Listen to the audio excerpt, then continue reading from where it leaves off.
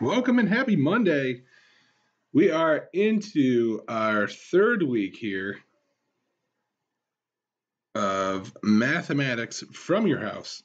Um, still your teacher, Mr. Z. All right, here we go. So, Monday, today we're doing some scientific notation. There is a Nearpod up that will be up there shortly for you guys to do. Tomorrow, we're going to take a look at expo exponents, angular relationships, functions on Thursday, and there will be another Delta Math review for you guys. Um, I am just grading for completion on those and make sure you guys are doing them. And I see that though you've completed all sections and get that 100%. All right. Um, and you can check Infinite Campus. I've updated the grades. And we're going to get going on today's lesson, which is on scientific notation. All right. So, in scientific notation, this is a way to write numbers, uh, very either large or small numbers, using powers of 10 Okay, it's a shorthand way to write these numbers. So these are examples, all right, of scientific notation. It is a way to write the product of two factors in the form of a times 10 to the n, where n is an integer, usually in between 1 and 10. It can be bigger or smaller. So it could be negative, positive. Um, for examples, 8.3 times 10 to the fifth, which if we remember, we were moving the decimal point five spaces to the right. We'll get into this. So it's 8, 3, and then 4 extra zeros. So this is 830,000 for that number. 7.1 times 10 to the fifth, negative fifth, I would move the decimal point five spots to the left. So that would be four zeros and then a 7, 1. So if it's a negative exponent, okay, we're shifting our decimal place to the left, and positive exponents, we're moving our decimal place to the right. So you can see like 4.12 times 10 to the 22, I'm going to shift and draw the little loops underneath normally to make this happen here. So um, we're also going to talk about how to do it on your calculator, okay? Um, and this EE button, we talk about how to access that and why we use that instead of writing it like this, okay? so uh, take a look at the first one. Is the number written in scientific notation correctly? Yes or no? And if not, explain. So the first one is actually no. Um, it is not. And the reason is, is your number you're writing, right? If we go back up here, we talked about this uh, number A has to be a number between 1 and 10. It has to be a whole number when, with a decimal point after it.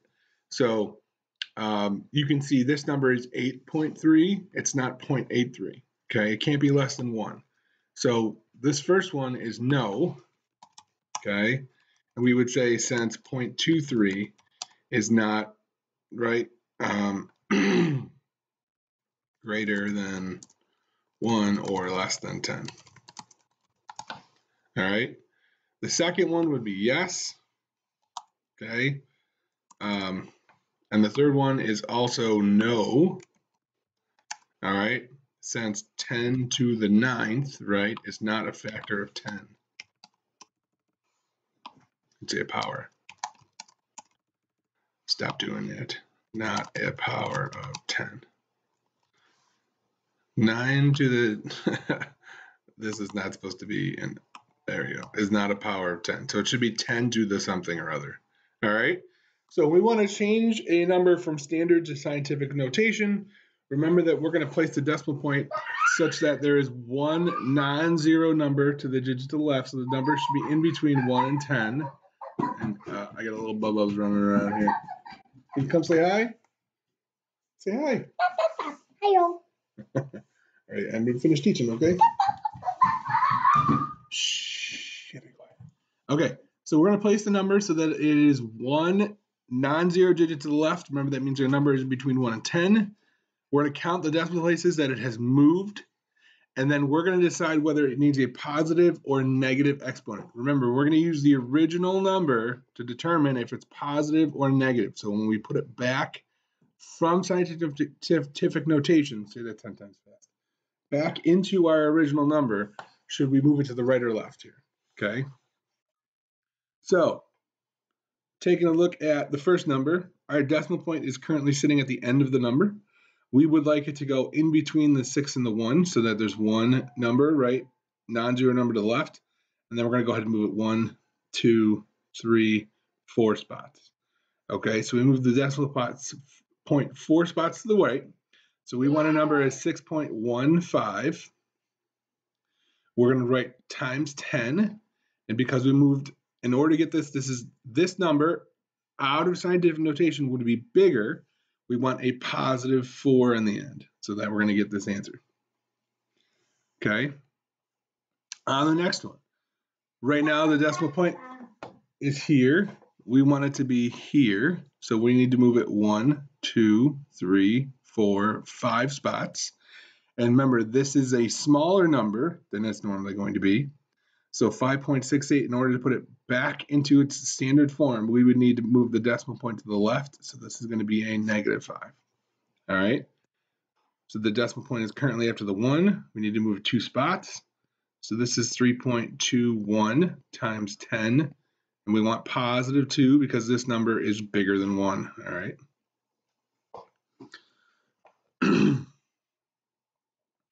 Six 54,960,000. Remember, decimal point at the end. We need to move it one, two, three, four, five, six, seven spots. So we're going to put six point, and usually, usually when we do this, now you might want to check. The question might say round to the nearest like hundredth when you do this. When you so for instance for this number because there's more than three non-zero numbers um, we could write this as 6.496 times 10 to the however many decimals you need. You might also have numbers that only want you to get three significant figures. So it kind of depends on the question here. Um, significant figures are non-zero numbers. So the first non-zero number is the first significant figure. So if there was a zero in front of this, the zero would not be significant. So 6.49, we could call it 6.50, we don't have those directions though, so we're just going to leave it at 6.496. And it's times 10 to the, and I don't know where the fifth came from there. Um, but we're going to count 1, 2, 3, 4, 5, 6. Remember, we said seventh. So this is times 10 to the 7. And this number is larger than 1, so we, we know the exponent is not negative. Number 5, same thing. 1, 2. This is where we want the decimal point to go okay, after the first non-zero number, so 7.085, and then times 10 to the negative 2. And the reason it's negative is the original number is less than 1. All right. 6. Now we could write this as 10.123, 864, 346, 876. This kind of defeats the purpose of scientific notation though. So what a lot of times they'll do is they'll take the first three non-zero numbers and they will round. Okay, so there's only three significant figures. So the next number is an 8. So we'll put 1.24. And then we have to decide how many decimal points we moved it. So we know 1, 2, 3, 4, 5, 6, 7, 8, 9, 10, 11. And so I would do 1.24 times 10 to the 11th. We could also do that here, since our decimal point is at um, is currently at after the 1 instead of after the 6. I'm just making sure that this 11 is a little bit uh, better off here. And then the same thing here. So we want to move 1, 2, 3, 4, 5. 8.75 times 10 to the 5. And the last one here we have 1, 2, 3, 4, 5, 6, 7, 8, 9, 10 moves I want to make. So 3.45. And because the original number is less than 1, we want to do times 10 to the negative, and I forgot already, 1, 2, 3, 4, 5, 6, 7, 8, 9, 10. And there's our number. All right, in the next page, we're going to do some operations. So now, two things. On the calculator, okay, if I want to do the converting of these numbers, all right, I have to use, let's go back to, I'm going to change my settings back to normal. So nor, our normal is here. All right, let's messing around with this earlier. So we are going to go ahead and do this. So you could, for instance, type in something like 10.6, and we could do times 10 um, times 10 to the negative 5. and it will convert this number into you. But notice that it gives you this E thing. So this E, now we did 10.6 instead of 1.06, is the calculator's version of doing scientific notation. So what the E means is it means times 10 to the exponent of negative 4, okay? So if I were to do 10, 1.06, okay, times 10 to the negative 5, the calculator is going to give is going to give me uh, the same type of thing here. So the decimal point has already moved over one more space, so that's why it's negative 5 instead of negative 4. But you can see that it's giving me these answers back that are with the E, all right? And this is the form we want to use. We don't want to use this. And the reason is this calculator is treating this as two different numbers. 1.06 is one number, 10 to the negative fifth is another number, okay? What we want to do is we want to turn the calculator that when we use the E button, it knows that it's in scientific notation and it treats this as one number. So we'll see it as we go into these questions here on the second page, why there's a problem here, okay? So here we're going to make these numbers bigger. So let's go ahead and do that. So 1.09 times 10 to the 3. We want to move the decimal point three spots to the right because the exponent is positive, and we get 109 and then a 0 at the end. Okay? Same thing with this one, eighth power, so 1, 2, 3, 4, 5, 6, 7, 8. So it looks like we need one, two, three zeros. So 4, 2, 2, 7, 1, 5 with three extra zeros is our number. Here we have a negative exponent. It's the negative fourth power. So we're going to move four spots. One, two, three, four. So we need three zeros. Decimal point goes to the left because it's negative. So point zero zero zero, and then three zero seven eight. And the same thing here. It's negative two. So we're moving to the left two spots. So we need one zero and then nine zero zero four. And there is our larger number out of scientific notation. Two more. So once again, one, two, three, four, five, six. So we need two decimal places, and it's 5.1874 and then zero, zero.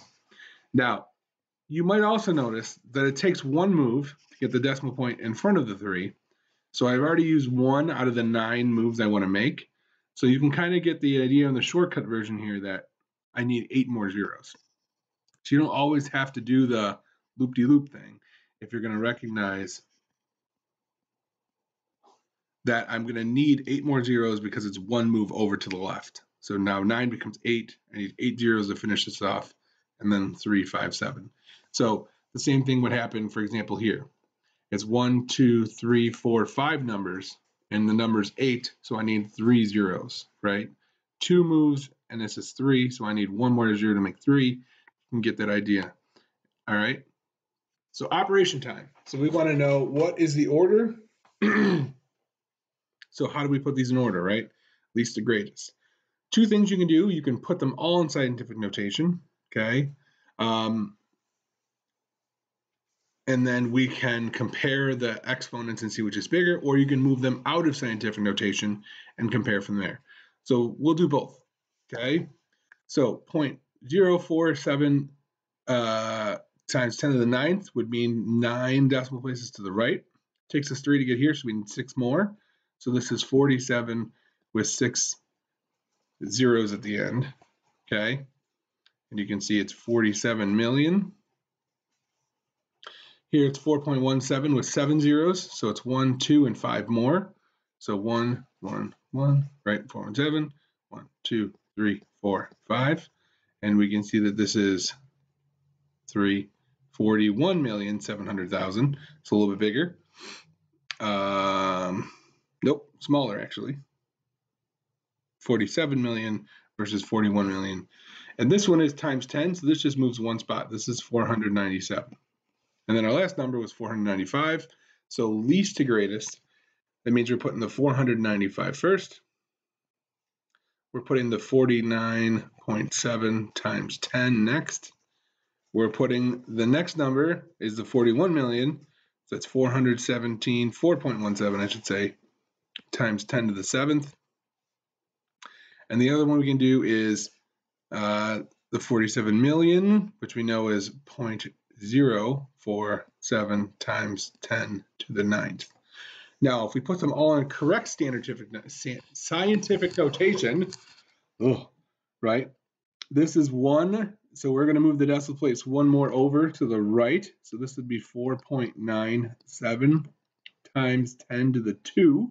Already wanted, we move the decimal place one more spot. Here, this one is done, so we don't have to change it. This one would we would want to move two spots over to the left, which would be a negative, right? So this is 4.7 times 10, right? And we can see that instead of being ninth, it would be 7. And you can see it, 1, 2, 3, 4, 5, 6, 7. So because I'm moving two spots to the left, it says a 10 to the negative 2 to get 4.7. And I already have 10 to the ninth, so that gives me 10 to the seventh. And 4.495 is 4.95. And here I would move it two spots, so times 10 to the 2. And now I can compare. This is smaller. Actually, this is 4.97 is bigger than 4.95, and the exponents are the same. Okay. And then 4.17 is smaller than 4.7, and they have the same exponent. So that's how I know that that's going to be bigger. So you could also compare it in that mode. All right, so same thing, we're going to order these. So here we can either convert them out of or into correct scientific notation. So I'm going to do the scientific notation first this time. So this is going to be boom to do 2.48. Now this is getting bigger, so this is adding a 10 to the first on, okay, because I'm making the number smaller when I put it into scientific notation. So this is times 10 to the negative 3 now. Okay, 28 times 10 to the third, I'm moving it and making it to the left, which is going to increase this because the number is going to get bigger as I go. So this is 2.8 times 10 to the fourth. Here I'm going to move my decimal point in between the 2 and the 5, which is going to become a negative exponent, exponent when I move it. So this is times 10. I'm adding in a negative 2 here. So this is going to be 2.5 times 10 to the 2. And here the decimal point is after the 8. I'm moving it to make it once again a smaller number. So to undo it, it's going to be bigger. So I'm adding a 2 to the x times 10 to the squared. So this is going to be 2.58 times 10 to the negative 3. And now I can go ahead and compare these numbers. All right. So there's a two numbers with a negative 3 exponent, and the 2.48 is smaller. So we're going least to greatest again. So 224.8 times 10 to the negative fourth is first. Then the 2.58, but it's not 2.58. The original number is what I want to write down, um, not the 2.58 times 10 to the third number.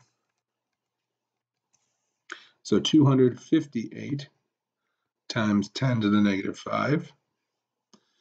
Then I can see the next exponent is a positive 2 here. So that's going to go next. So that's 0 0.025 times 10 to the fourth. And then it's 2.8 times 10. Oh, that's, yeah. This is 28. A little confusing on here times 10 to the third. So I'm, I'm writing these original numbers down when I put my answer in here. Now the other option is to expand this, okay? So I'm going to do these in order. So number one is this guy right here. So if I expand it, I'm going to move it four spots to the left, two, three, four, okay? One, two, three, four. So this is point zero, zero, two, four, eight. There's my number expanded out. Number two is 28 times 10 to the third. So that's three moves, one, two, three out to the right. So two, eight, and then three zeros. Number three is four moves, one, two, three, four. So this is really two, five, zero, because I don't include the two zeros in the front. That's kind of weird. and the last number is 258 times 10 to the negative 5. I'm going to that's point one, two, three, four, five spots. So I'm going to need two zeros in front So it's 0.00258. And now I can compare. So you can see this one right here, I'm going to rank them from smallest to least, is the smallest. This is the largest, okay? And then you can easily compare here. Um, so we'll call this one, two, three, and four in terms of the order. And you can see that's the order they're in. All right. Operations, we're going to use our calculator here. So we're going to talk about why the calculator uses the EE and it doesn't use times 10 to the 7th stuff here. So we're going to go ahead and do 2.85. Now our calculator, we're going to have to do E and then 7, okay? And we're going to multiply that times 3.16E and then negative 3. That's what we're going to type into our calculator. All right. So we're going to go ahead and do, we said 2.85. Now the E button is right above pi. So how about we put it in the correct spot? So 2.85, we're going to hit E for scientific notation, that's the exponent, 7, okay? And then we're going to do times, and we got 3.16, so 3.16, go ahead and hit the E button again, and this exponent is negative 3. And we hit enter, and the calculator is going to convert this for us. Now, we want our answer in correct scientific notation, okay? Now, had we done, all right, and you can see what happened is it expanded it, multiplied it, and then brought it back for us. So what happens is going is this. What we're doing is if we type in the original number, this treats this as 2.85 times 10, just so you guys can get the idea here, caret, and this is going to be the seventh power. And now if I do times again, and that's 3.16 times 10 to the, and I believe this is negative 3, you will not get the same answer here. It's giving me errors. Well, it's giving me errors because I have two times, but you're not going to get the same. You do get the same answer here. Crazy. Before the old calculators, we didn't but we're getting it here. Um, and so I'm going to look into this more. And I will come back to you guys and let you know if you are allowed to do this and if it will always work. For our purposes, I want to make sure we understand what E means because the calculator will give you E in your answer here. So we know that this is going to equal 90060, so 90,060. And we need to convert this into scientific notation. So remember, we're going to move one two, three, four spots. So 9.006 and times 10 to the fourth because we want our number to be bigger. Okay. so go ahead and do these on your own. You can type them in your calculator. Make sure you use your fraction bar when you're doing these two, and we'll go from there. No, seriously. Pause it now and try it on your own. Okay, one thing I did want to go over before we move on is talking to the students is what is actually going on when you're multiplying here? And what you you may or may not know is that what we're actually doing is multiplying the numbers in front here together, and then you're adding the exponents up when you multiply. so if you look, 2.85 times 3.16 is 9.006. And then we had a decimal, right? The exponent was 7. This one's negative 3. So when you add them, you get to the fourth power. So this becomes 9.006 times 10 to the fourth.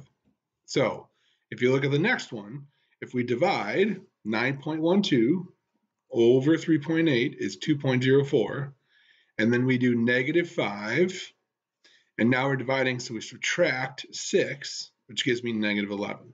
So this is how you technically are doing this if you don't have a calculator. So in the next one, right, we can do 6.2 times. All right, so we do 6.2 times 3.8. We get 23.56. And then 3 plus 5 is 8. But we need to get 2, so we'll, we'll leave it at that. So 23.56 times 10 to the 8th over 1.9 times 10 to the 4th. So now we divide these numbers. That 9 is terrible. Bothered me. Sorry, guys. to the 9 times 10 to the fourth. Okay, so we're going to divide this divided by 1.9. 1.9. All right, gives me 12.4. And then I'm subtracting, right? 8 minus 4 is 4. So this is technically equal to 12.4, 12.4 times 10 to the fourth. But remember, I have to get it as 1.24, and this will be times 10 to the fifth, because I'm moving the decimal point one more spot over. All right, and if we want to, I'm going to type it in real quick. Okay, so we get the 6.2 e times 10 to the 3, right? We got 3.8 times 10 to the fifth and 1.9 times 10 to the fourth. And so you can see when we hit enter, there's our number. So it's 1.24 and we need one, two, three, four, five spots. So to the fifth power, there's our answer. Okay. And that's how you can do all of these. It's pretty easy to do. So for the first one, remember, when we're multiplying 1.5 times 6.25. So 1.5 times 6.25 is 9.375. 9.375. 4 and negative 3, I'm adding them when I multiply. So this is going to be times 10 to the first, because 4 minus 3, over 1.25 times 10 to the negative 4. so now I divide 9.375 by 1.25, okay? And that gives me 7.5. And then it's 10 to the 1 minus 10 to the negative 4. So 1 minus negative 4 becomes positive 5. So 10 to the fifth power. That's it. Okay, you can check it your calculator verify. We'll do it right now.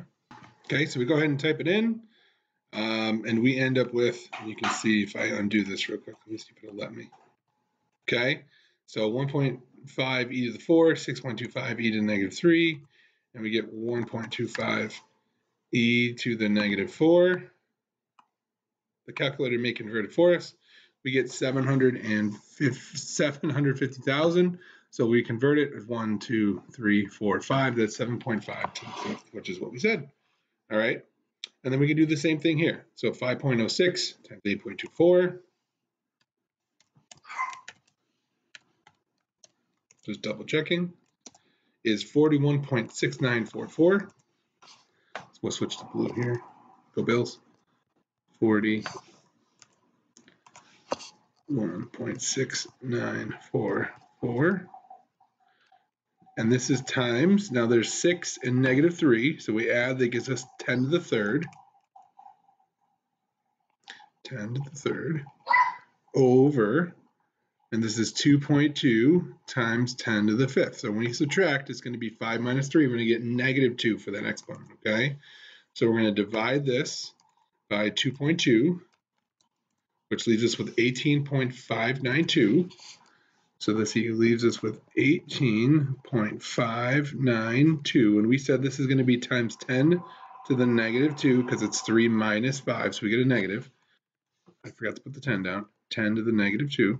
Now, we still have to move the decimal point one spot over to the left, which, because this is a number that's bigger than 1, is a positive move.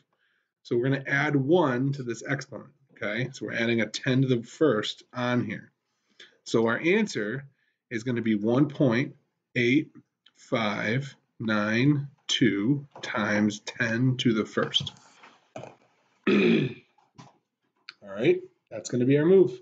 Oh, negative one. Negative one. Sorry. It was negative two and we added one, so it's 10 to the negative one. All right, we'll go ahead and check that. We'll see what, in case we typed it in. So 5.06 times 10, so e to the sixth, 8.24, e to the negative 3, 2.2, we have the e to the fifth. So go ahead and enter. We get 1.1 or 0.18952. So we would move the decimal point one spot to the right. That would be a negative one. And there we go. All right.